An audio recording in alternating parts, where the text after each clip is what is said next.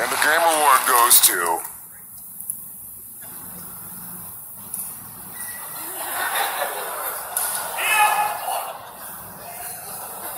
Red Boy.